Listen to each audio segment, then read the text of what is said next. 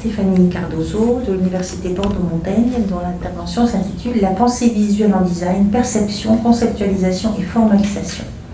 Stéphanie Cardozo qui prépare son HDR. tout est dit. Donc encore grand-chose. Très bien, merci Anne pour cette troisième édition de samedi. Euh, donc je vais essayer de vous parler de la, formalisation euh, en design et, de ce qui concerne la pensée visuelle. Alors j'avais envie de commencer par cette slide, le Saint Jérôme d'Antonello. Donc le Saint Jérôme d'Antonello, qui, euh, donc je vous lis, est le meilleur exemple qui soit de cette nouvelle conscience du monde à laquelle parvint vers la fin du XVe siècle l'intelligentsia d'Occident. Cette conscience se manifeste dans les œuvres d'artistes comme Leonardo de Vinci, Francesco di Giorgio Martini, euh, lui j'arriverai pas à le prononcer, Hans Holbein et bien d'autres. Euh, tous avaient développé une grammaire et une syntaxe très complexes pour euh, quantifier les phénomènes naturels dans des images. Entre leurs mains, la construction des images devint un langage pictural qui, avec un peu d'habitude, pouvait communiquer plus d'informations plus rapidement à beaucoup plus de gens qu'aucun autre langage au cours de l'histoire humaine. Euh, donc tout ça pour introduire finalement euh, la pensée du designer en tant que médiateur euh, qui va traduire, interpréter, vulgariser dans la volonté de construire, transmettre et communiquer la connaissance et les savoirs dans l'action du faire, de comprendre et de faire comprendre le contexte à toutes les parties prenantes du projet pour mieux l'appréhender en s'outillant d'éléments de dialogue communs. Donc il réalise ainsi une médiation par différents moyens et c'est ce que je vais essayer de vous démontrer euh, bah, durant ce temps de présentation. Euh, alors, Bruno Latour, dans son article sur les vues de l'esprit, posait la question comment une culture voit le monde? Alors finalement, la question qui se pose, c'est finalement comment la culture de projet s'incarne et se représente, et finalement comment on arrive en, entre dissensus et consensus à un projet qui prend forme. Donc ma communication va se découper donc en trois parties la pensée visuelle, une modalisation, euh, une sorte de démocratisation visuelle qui va créer un espace significatif et cohérent et qui va mettre donc en relation. Là, je prendrai appui sur euh, la construction d'un langage commun avec la théorie graphique de Bertin. un peu Chacun d'entre vous l'a évoqué euh, tout au long de la journée. Et puis une troisième partie sur euh, des outils intelligibles qui pourraient être finalement une manière d'appréhender la systémique. Euh, tout simplement parce qu'on reproche souvent au design de créer des outils de créativité, alors notamment le design thinking, avec les outils d'ingénierie ou de créativité, un peu la boîte à outils ou la mallette du designer. Euh, et donc je me suis interrogée pour savoir si finalement ce n'était pas euh, une manière d'appréhender euh, une dimension systémique. Donc on verra en troisième partie. donc la pensée visuelle, une modélisation. Alors là j'ai repris un peu l'idée du design thinking, donc la pensée en design, comment est-ce qu'elle se construit d'étape en étape. Et alors il y a différentes manières d'appréhender le, projet. Là, le design council s'était accordé sur le double diamant, donc deux, diamants avec une phase qui est plus, euh, pardon, un diamant qui est plus lié euh, au, terrain et un autre diamant qui est davantage autour de la conception, création et phase de prototypage. Donc si je reviens un peu en arrière, le design thinking, on ne va pas le résumer comme ça, mais effectivement c'est quand même un protocole euh, dans lequel on va insérer des outils euh, et donc la pensée visuelle consiste à exprimer ces, outils visuellement. Et donc à l'intérieur, on va aller chercher des outils qu'on va manifester de manière euh, visuelle. Donc selon Tim Brown, donc un peu la personne qui a démocratisé le design thinking, mais c'est pas lui qui l'a euh, l'a construite, hein, c'est construit dans les années 80. Euh, donc, je le cite, le, design, euh, pardon, le dessin révèle les caractéristiques fonctionnelles d'une idée et son contenu émotionnel. Dessiner une idée implique de prendre des décisions que même le langage le plus précis ne peut éluder. Cela impose de s'attaquer à des questions d'esthétique qui ne peuvent être résolues par des calculs mathématiques les plus sophistiqués. Alors, d'une part, le concept de Tim Brown interroge la question des représentations visuelles et de leur logique de pensée, donc les schémas, les croquis, les dessins, les tableaux. D'autre part, les questionnements esthétiques qui sont réalisés, c'est-à-dire accomplir une opération ou un choix euh, pour exprimer ce à quoi on réfléchit avec des moyens évolutifs qui posent une trace, une manière de raisonner, puis d'itérer et enfin d'ajuster. Alors, je, voulais juste quand même définir modalisation, qui en linguistique veut dire opération qui, mettant en œuvre des moyens linguistiques morphologiques, lexicaux, syntaxiques, intonatifs, fait apparaître l'attitude du sujet parlant vis-à-vis de la vérité de ce qu'il énonce. Et alors là, du coup, apparaît le concept de, vérité. Euh, finalement, la question que je me posais, c'était aussi est-ce que le langage universel ou le fait de passer par de la représentation pose quelque part la question de la vérité, de sa vérité, euh, la manière de l'exprimer. Alors, cette pratique à laquelle on recourt les designers euh, met en lumière plusieurs éléments. Coucher une idée par le dessin ou le croquis permet d'une part d'obtenir des résultats différents qu'avec les mots. Donc le moindre signe qui est déplacé, agrandi ou modifié euh, bah, modifie lui-même le sens et entraîne un nouveau paradigme. Et de mettre des émotions ou pas, de faire diverger et converger et ou converger des idées et des visions, de créer des outils d'appréhension commune, ce qu'on appelle le Visual Thinking Tools que vous avez ici, et de faire acte de décision par l'expression visuelle. Donc là, pour le coup, acter euh, quelque chose. Et ensuite, d'ouvrir aussi les possibilités d'itérer à tout moment. Donc finalement, ça fige, mais en même temps, c'est évolutif. Alors finalement, si la pensée design emploie ce que l'on appelle des visual thinking, euh, soit des outils pour appréhender l'intangible. Alors, je vais insister sur. Alors, on a vu le processus un petit peu euh, euh, démocratisé en design, qui provient en fait d'une vision un petit peu stratégique de Bill Buxton, qui montre que en fait, pour dessiner l'expérience utilisateur, il s'appuie sur le modèle de Lasso, où il explique que finalement, il y a plusieurs points de focus. On, prend un point de départ qui peut être une problématique, un constat général, et un point d'arrivée, et que finalement, le processus de design, il va se situer entre, lorsque l'on va croiser finalement, en quelque sorte, ses visions, ses regards. Donc j'insiste sur le moyen de visualiser sa pensée et de la confronter. C'est une manière d'exprimer comment le design voit le problème dans un contexte, un environnement, et en fonction des parties prenantes. Donc manifester une modalité et la confronter dans un processus de convergence-divergence. Donc d'où l'idée des triangles qui se, qui se confrontent. Pardon. Bill Buxton, c'est pas si simple que ça parce que Bill Buxton finalement il, a montré que c'était pas simplement une convergence-divergence euh, euh, linéaire si je puis dire, mais euh, qu'il y, avait, y avait effectivement des pics pour rejoindre ce point de convergence. Et euh, donc je voulais aussi insister sur la modélisation évolutive euh, de la pensée. Alors quand il est question de, donc de dessiner, de modéliser la pensée, bah, les modélisations sont multiples. Et par ailleurs, on ne voit pas tous les mêmes choses. Si nos perceptions diffèrent, du coup, les idées se formalisent aussi différemment mentalement et se manifestent visuellement en conservant cette diversité, mais également avec toute la fragilité des représentations d'idées en train de se construire, que le dessin, le croquis peuvent venir figer. Finalement, ce sont des manières de projeter ses pensées.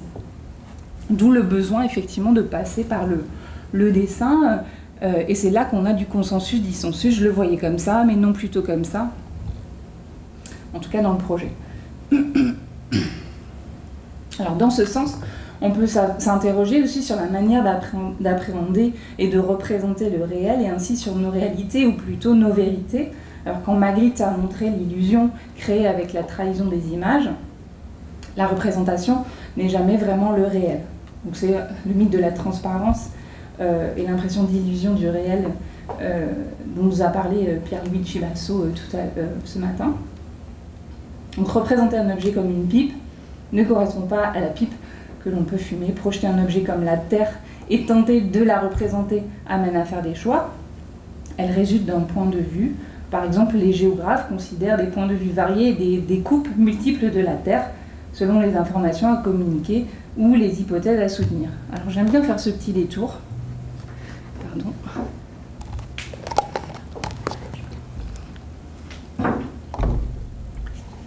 Où finalement, euh, les géographes montrent pour visionner la Terre et puis avoir différentes représentations, ben, ça dépend du point de vue et des visions qu'on offre. Et donc selon la découpe, euh, on n'aura pas la même, euh, la même projection et donc la même représentation. Alors ici, ça relève de calculs mathématiques, ce qui n'est pas le cas pour le projet en design. Mais pour montrer simplement la variété des formes de représentation possibles sur un même objet.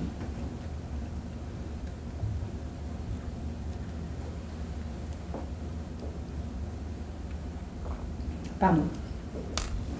Alors, exprimer ses idées par la pensée visuelle impose de dévoiler son point de vue et de le confronter lors d'un travail collaboratif. Donc, la morphologie du dessin ou du schéma, l'épaisseur des traits, les symboles employés, même les plus simples, le cercle, le rectangle, la flèche dont nous a parlé euh, Ludovic et Audrey euh, ce matin, dénotent des choix qui font peser l'idée ou l'argumentation liée à cette idée.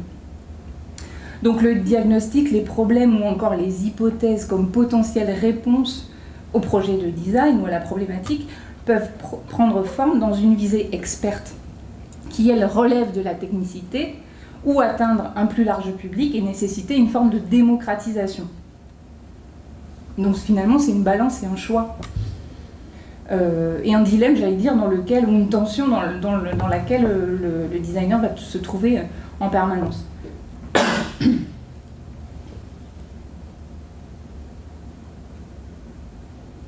Alors, il y a l'importance du mécanisme réflexif visuel en design qui implique une dimension psychocognitive dans la construction de modèles descriptifs et explicatifs.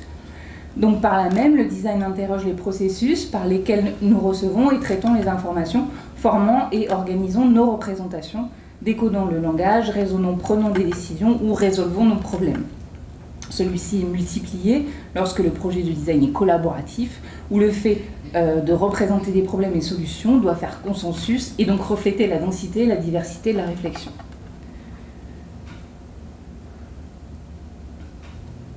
Alors, la, la question de la démocratie visuelle. Donc, créer un espace significatif et cohérent qui met en relation. Finalement, comment raconte-t-on ce que l'on a dans la tête de manière visuelle?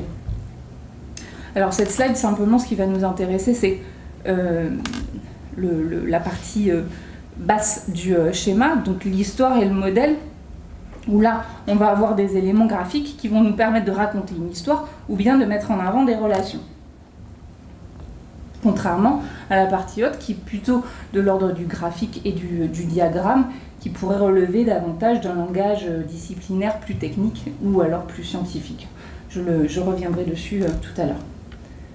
Donc la question de la vulgarisation peut, perdre du raffinement dans le contenu.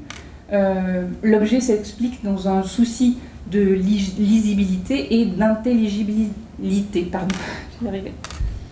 Donc la vulgarisation se développe d'abord non selon une logique de diffusion des savoirs, mais selon une logique de l'appropriation des savoirs en fonction de la culture de ceux auxquels elle s'adresse.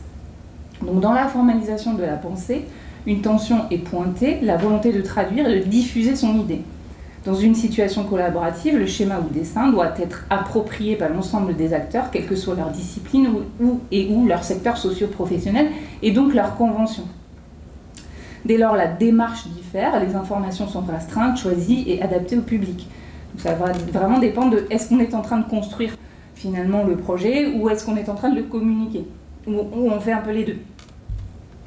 L'univers culturel de référence donc, doit correspondre à des conventions communes afin d'expliciter euh, et de faciliter l'appréhension et l'appropriation des informations. Le designer est alors au centre de cette interprétation qui passe par des moyens, dessins, schémas et des outils qui deviennent médiateurs. Donc il est dans une forme de traduction des problématiques. Pour autant, ça ne le limite pas euh, dans, son action à une vulgarisation, S'approprier et démocratiser correspond à une étape du processus de connaissance du contexte et des enjeux. Donc ça fait vraiment partie du, euh, processus du projet.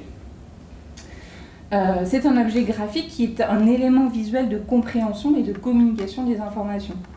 Alors j'en ai parlé, j'ai fait déjà le détour par rapport au géographe qui traduit son travail sur un médium spécifique, donc la carte.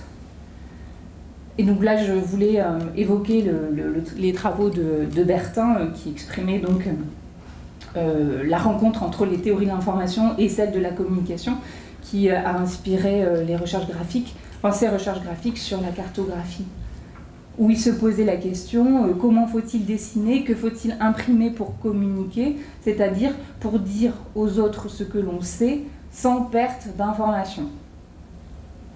Alors, dans son article sur les stratégies cartographiques, Anne Béard-Gélin accorde une organisation des isotopies à la question de la carte.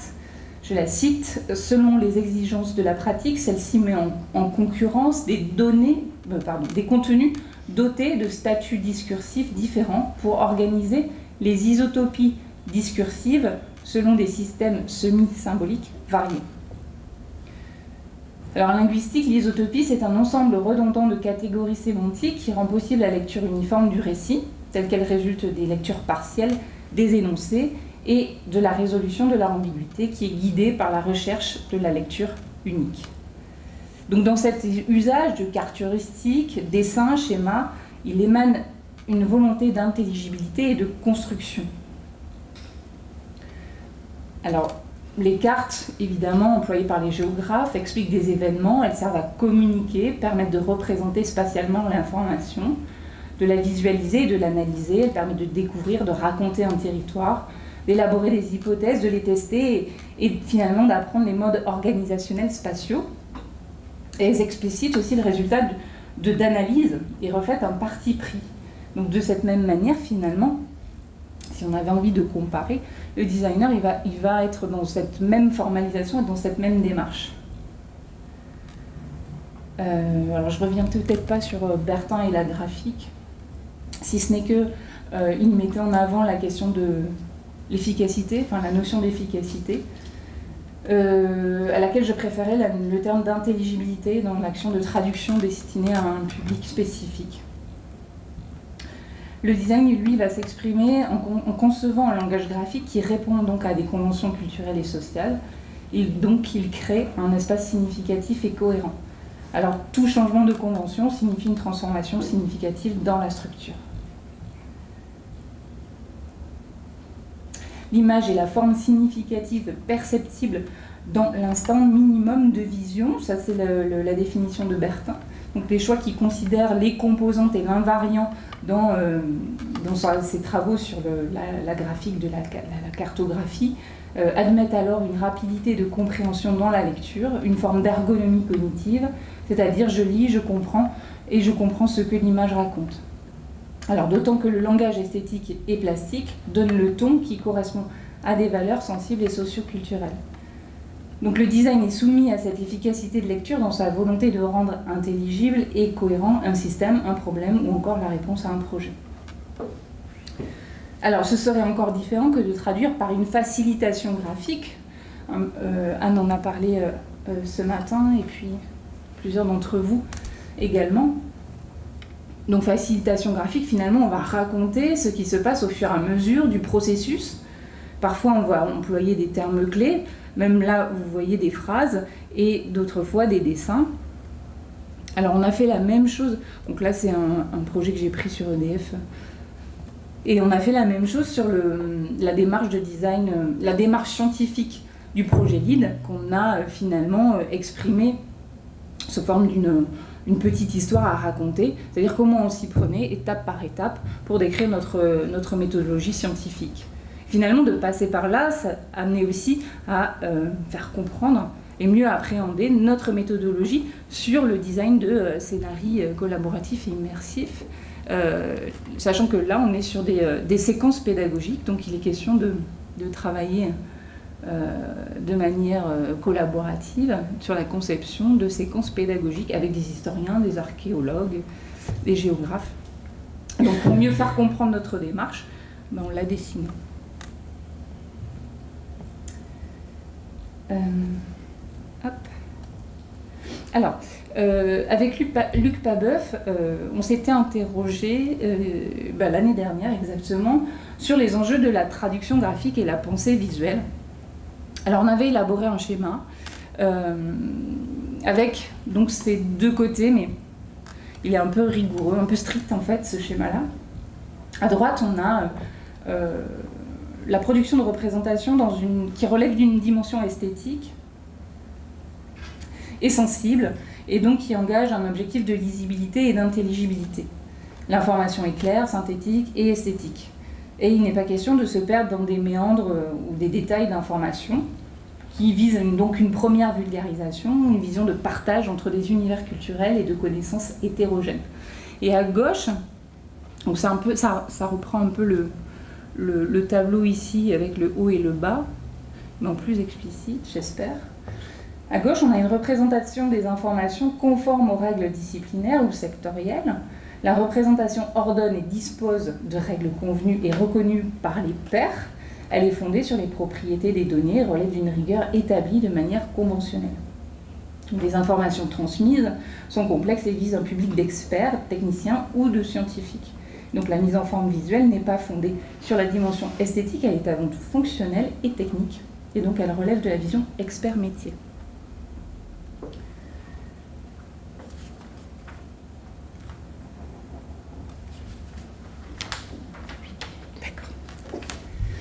Alors je voulais en venir en fait à cette fameuse boîte à outils du designer qui est à la fois euh, très controversée et dénoncée. Alors essentiellement par la diffusion euh, la mauvaise utilisation, j'allais dire, du design thinking, où on a plutôt tendance à demander à un designer de euh, nous faire une boîte à outils de, la créativité ou des outils d'ingénierie du projet, comment je m'y prends pour, pour être créatif et puis pour mener à bien mon projet de manière méthodologique. Donc c'est bien souvent des boîtes à outils qui emploient un langage visuel censé être commun et donc pour tous, parce que tout le monde veut ou doit pouvoir l'employer euh, pour faire du, projet finalement euh, sans designer ou avec, mais enfin de manière assez facile et aisée. Alors j'avais envie de parler du euh, projet Tomette du collectif BAM, où on a une, de nos anciennes étudiantes, Charlotte Morel, qui travaille, donc qui vient d'être recrutée. alors en fait, ils ont ils, se, sont dit que finalement, euh, là ça vient de leur site, l'utilisation de différents outils de design comme ceux répertoriés sur la plateforme de recherche Service Design Tool nous permet d'accompagner un projet dans chaque phase de sa conception. Euh, conçu pour répondre à des besoins précis, identifiés à des phases précises de chaque projet, ces outils de design qui sont les storyboards, les fiches personnelles, les cartes contraintes, les blueprints, etc., sont autant de supports qui nous disent de même pourquoi ils sont faits et comment il faut s'en servir. Donc c'est face à ce constat qu'ils se sont interrogés, ce collectif de designers, ces outils dont les usages sont prédéfinis ne se révèlent-ils pas contraignants dans la pratique de nos projets de design Finalement, euh, trop, euh, euh finalement. Euh, leur utilisation à toutes les occasions ne représente-t-elle pas un risque d'uniformisation de nos, processus de conception Et donc c'est la raison pour laquelle ils sont arrivés à ce projet-là, qui est euh, finalement la commercialisation d'un outil de projection et de visualisation des échanges en atelier collaboratif. Donc il n'y a pas de méthodologie préétablie, il s'adapte à tous les sujets et à toutes les méthodologies d'atelier. L'idée, c'est de faciliter l'échange d'informations, le cadrage des idées, la visualisation des données, et il devient le support formel des échanges. Alors, le studio déclare, donc le collectif BAM déclare créer des objets intermédiaires, des objets qui rythment chaque projet et accompagnent les designers, donc là pour le coup c'est des experts, tout au long des échanges avec leurs différents euh, interlocuteurs. Donc par exemple, euh, l'outil emploie des actions et des objets les surfaces des supports alvéolaires sont vierges et demeurent à compléter au fil de l'atelier. Les alvéoles sont modifiables à l'infini et superposables selon les besoins. Selon la réflexivité autour du projet, des étapes se superposent ou deviennent corollaires. Les alvéoles veulent incarner la modularité et la souplesse de l'objet. Alors sur leur projet euh, Paris, Tomet offre plusieurs actions spatialisées, dessinées, représentées, cartographiées, connectées, spécifiées, scénarisées, hackées, jouées associés donc à des objets, surface, feutre, tige, signifiant fil. Et si j'ai le temps de... Alors, si j'ai le temps de conclure... Oui. Alors finalement, le design mobilise une façon de penser ou des façons de penser, et la possibilité de la rendre accessible par le biais d'outils et de méthodes reste favorable par certains aspects. Euh, donc il convient peut-être de considérer l'accessibilité à la systémique par l'être humain et, d'en modéliser les chemins. Donc c'est vrai qu'il est complexe de développer une pensée décloisonnée jusqu'à atteindre les problématiques répercutées de manière systémique.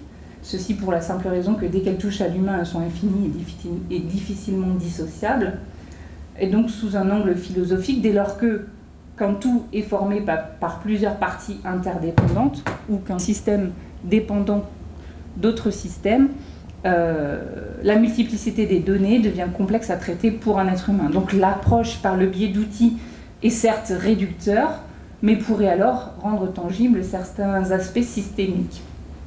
Alors d'une part, il est question de partager avec les parties prenantes euh, des problématiques, des constats, des repérages sur le terrain. Donc partager, c'est une manière d'impliquer, de faire vivre les choses, de co-construire des visions possibles et d'autre part, dans la conception d'outils destinés à être manipulés dans le contexte design thinking, design tout court, euh, la pensée ne cesse de créer des formes matérielles, visuelles ou immatérielles de dialogue. Ce sont des objets de, dialogue qui sont à la fois témoins d'une réflexion en action, mais également objets de médiation et qui relèvent euh, de ce que euh, évoquait Manuel Zacla tout à l'heure, d'un espace, temps, d'un support et de médiation visuelle, de manière synchrone et ou asynchrone selon le, projet et l'action en fait. Donc dans l'action, le designer organise des, sortes de praxis traductrices. Euh, donc finalement, euh, on pourrait jeter la pierre aux outils méthodologiques ou aux kits euh, ou aux formes de traduction visuelle évoquées, mais quelque part, ils accompagnent le designer dans les déplacements sectoriels et disciplinaires qu'il opère et il nécessite également de revenir sur les dissensus et consensus nécessaires dans la construction de connaissances, mais également dans un contexte qui voudrait à la fois l'individuation de la société et aussi une réflexivité systémique. Et finalement, c'est un peu mon tableau des contradictions ou des paradoxes, euh, des tensions du design, où euh, bah, on est en fait dans des, dans des dans des visions euh, macro, micro, euh, dans des vérités, dans des projections, dans des valeurs collectives et dans des valeurs individuelles, dans du collaboratif et dans du centre usagé, dans des évidences et dans des incertitudes. Finalement, le design à travers le projet brasse en permanence des paradoxes et des tensions, euh, finalement qu'il faut assumer, je crois. voilà, j'en ai terminé. Je vous remercie pour votre attention.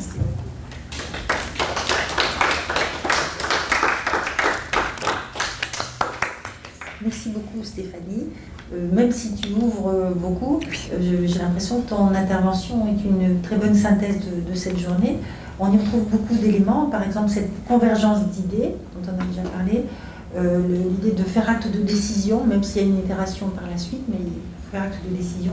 Et une idée que j'aimais beaucoup, c'est cette notion de vérité par laquelle tu as commencé, en disant que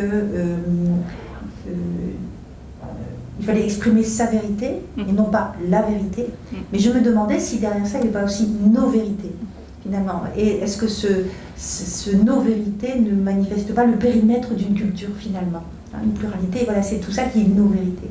Finalement. Alors j'ai une petite question, un petit point où j'étais pas trop tout à fait d'accord avec toi quand même, c'est quand tu dis que ce, à propos du design thinking, que le, ces dessins ont une vocation fonctionnelle. Mm. N'empêche qu'ils sont très beaux, mm. ils sont très jolis. Mm. Euh, et euh, cette esthétique qui nous donne un certain plaisir recueille notre adhésion. Et cette adhésion pourrait correspondre à cette fourrie qu'on a vue tout à l'heure dans, le, dans l'intervention de, de, de, Vivien aussi. Voilà, nous sommes déjà dedans. Si c'était moche, on n'adhérerait pas. Voilà. Et donc on voit qu'il y a ce qu'on a vu aussi dans le, la présentation d'Hélène, il faut qu'on adhère quand même. Donc l'esthétique participe à cette persuasion de, du visuel.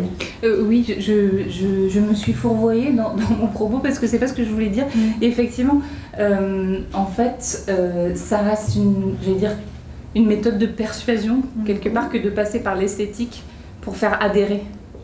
C'est ça.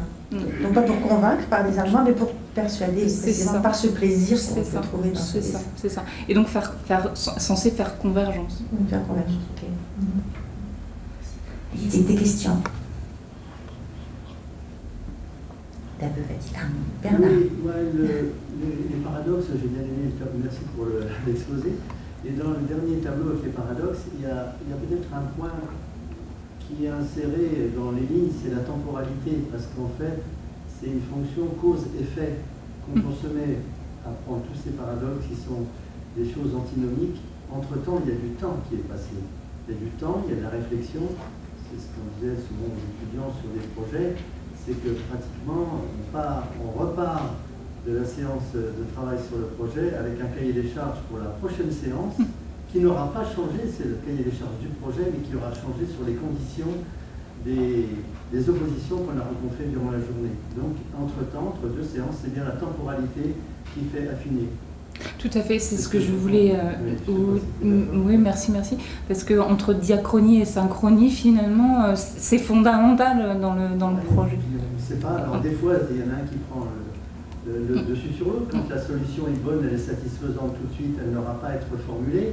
Elle n'aura pas à être ce qu'on appelle le système automatisme, un asservissement, revenir à l'extérieur, antérieurement en changeant des paramètres qui vont affiner et qui refont le, le graphique que tu avais fait avec la flèche qui, s'affine. Le ouais. Elle s'affine dans l'objectif, mais entre-temps, les étapes sont des étapes temporelles qui permettent aussi des retours. Merci. Une autre question, Pierre euh, Oui, alors une question sur, euh, une phrase euh, simple, mais finalement très profonde. C'est visualiser la pensée. Hein. Je voudrais réfléchir avec vous sur cette phrase que vous avez énoncée et une autre, un autre concept, plusieurs fois évoqué, le concept d'efficacité ou intelligité. Alors, sur, sur, la question de visualiser la pensée, c'est intéressant parce que, alors, il y, a, il y, a, deux possibilités. Visualiser la pensée pour euh, une question intersubjective, et peut-être dans le design participatif, il y a aussi ça, hein, c'est de euh, finalement donner la possibilité à, aux, partenaires d'accéder à, à, la pensée. Euh, mais normalement, quand on dit j'ai besoin de visualiser la pensée, c'est curieux parce qu'il y a en même temps cette visualisation qui est une traduction, une transposition, mais en même temps, on est en train de continuer à regarder euh, la schématisation, par exemple, pour voir si on arrive à trouver d'autres relations. Donc la visualisation de la pensée n'est pas seulement une projection. On cherche une relation féconde avec l'image projetée pour faire, on dira, pour faire progresser la pensée. Donc je vois là quelque chose qui concerne l'efficacité symbolique euh, de l'image. et, c'est mieux parce que par exemple, je peux schématiser, euh, je pense que tout le monde a fait cette expérience, je peux utiliser en linguistique, on dit la lisibilité, hein, j'ai plusieurs mots, mais avec des colonnes, avec euh, euh, des schémas. Mais ensuite, je commence à regarder de manière diagonale, transversale, j'ai plusieurs ensembles, voir si je vois des relations qui ne sont pas déjà euh, euh, comprises dans la schématisation déjà réalisée. Donc, voyez bien que là, je trouve qu'il y a cette question de la, de la, dualité entre la densité, parce que je vois la, la page entière, toutes les relations possibles. En même temps, je projetais ma pensée qui était une pensée diagrammatique Mais il y a encore quelque chose que je peux trouver. Je peux, faire des analogies, je peux trouver des, euh, liens euh, inaperçus euh, auparavant. Est-ce qu'il y a quelque chose donc qui relève d'une forme de la pensée du design qui doit se transformer aussi dans la forme d'exploitation du design, c'est-à-dire de l'utilisation, de l'usager, hein, qui utilise l'objet ou, ou le service qu'on a, euh, a réalisé, c'est-à-dire un, lieu, euh, par concevoir des lieux euh, capables encore de permettre des marges de jeu. Parce que quand je suis en train de regarder cette image projetée, ma pensée, il y a encore du jeu possible. Alors, est-ce qu'il faudrait, pour une question aussi tout à fait raisonnable, éthique, on pourrait dire, mm-hmm. dire que les enjeux du design doivent se transposer aussi dans les enjeux de l'usager l'usager ne doit pas respecter des protocoles ou des canalisations du sens déjà préprogrammés par le design, mais c'est l'idée d'une sorte de, euh, d'estafette. Je te laisse la tâche de continuer à jouer avec la pensée euh, mise en image, visualisée. Qu'est-ce que vous pensez de cette idée de, de continuer les designs participatifs parce que c'est l'usager qui doit continuer à participer de cette efficacité symbolique inscrite dans l'image. Oui. Alors, euh, dans son dernier ouvrage, effectivement, il, a démontré que le designer venait juste à outiller et à accompagner les usagers dans leur pensée, dans la conception, en fait. Et, finalement, c'était eux euh, qui étaient à même de concevoir. Euh, alors, je suis assez partagée. Alors, dans l'idée de transmettre et d'appliquer ces enjeux-là aux, usagers, je suis assez d'accord.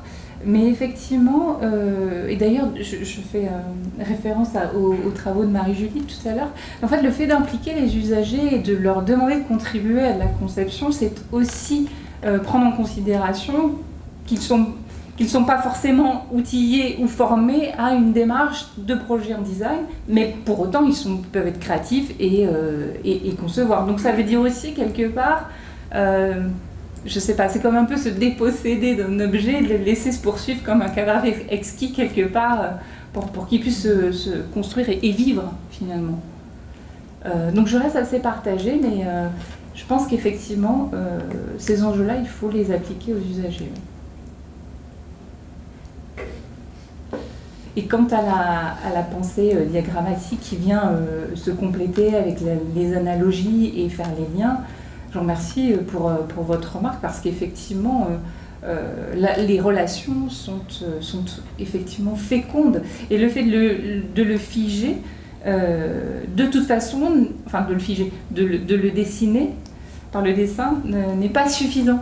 Et donc forcément, le, le, dessin sera évolutif et encore évolutif et encore évolutif. Et ça lié aussi à la temporalité. Et si je reviens euh, après sur un projet qui est interdisciplinaire, là on mêle des connaissances euh, interdisciplinaires et donc le fait de construire comme ça de manière épistémologique euh, un projet interdisciplinaire, ça vient faire bouger aussi un peu tous les curseurs normalement de l'un à l'autre de manière systémique. Et, là ça devient compliqué, en tout cas à mettre en, image. Question Marie c'est juste pour rebondir sur euh, votre question parce que je trouve que c'est une piste de recherche très intéressante à développer parce que qui va dans la continuité du projet Tomet, sauf que l'appropriation elle est que du côté des concepteurs, mm. pas des usagers. Et je trouve que c'est une piste intéressante parce que c'est un côté figé dont on peut sentir les limites dans les ateliers parfois.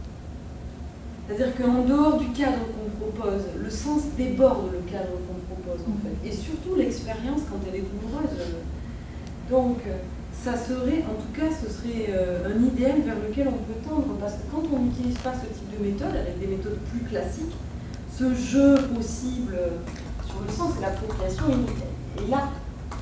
Et du coup, je pense que c'est une question de compétence quand même, parce que euh, on ne peut pas en effet les faire participer sur tout, mais du coup, ça impliquerait de, à la fois avoir, on serait de nouveau dans les paradoxes que tu as soulevés tout à l'heure, d'avoir quelque chose de très scénarisé, encore plus scénarisé pour savoir en fait avec quel type d'usager à un moment donné ils vont pouvoir s'approprier, jouer et continuer.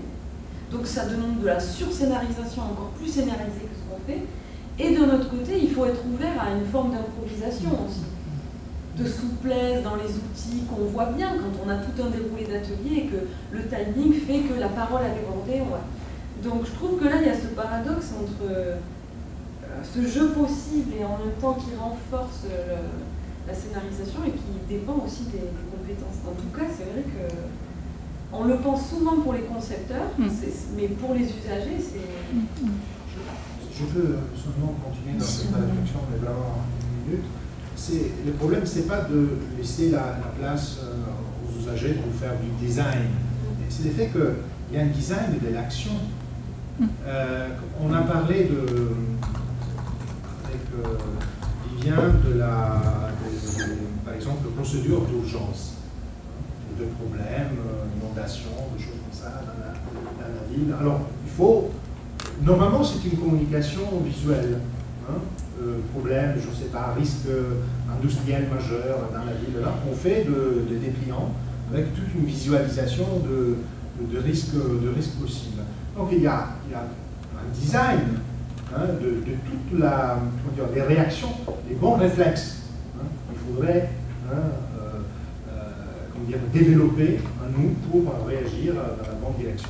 Mais en même temps, vous voyez, il y a l'idée de, de scénariser, de construire des protocoles d'action, mais ensuite, c'est l'usager qui doit s'éplonger dans la situation, s'adapter, ajuster les protocoles à la scène, et donc il doit construire son propre design de l'action. Donc vous voyez, ce n'est pas l'idée de laisser le travail. Euh, c'est normal qu'il y a un design de l'action et donc un, un, jeu de marge de manœuvre, parce qu'il y a toujours ça. Par ailleurs, l'ergonomie et l'étude aussi de la, la sécurité, on sait bien que l'utilisation de l'objet, euh, bon, il y a des, marges de manœuvre qui sont encore fiables.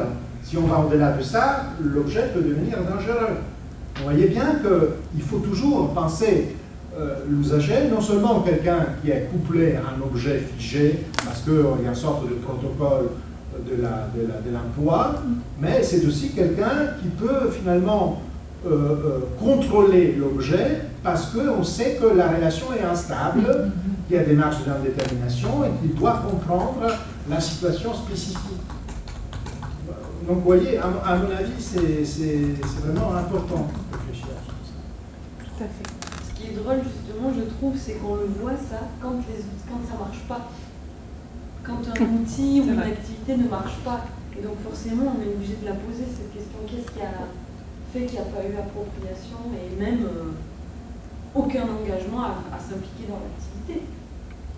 Donc ce serait intéressant de revenir sur les, sur les accidents ou les activités qui ne marchent pas pour voir justement comment cette question-là, on pourrait euh, peut-être la, la, mettre en évidence.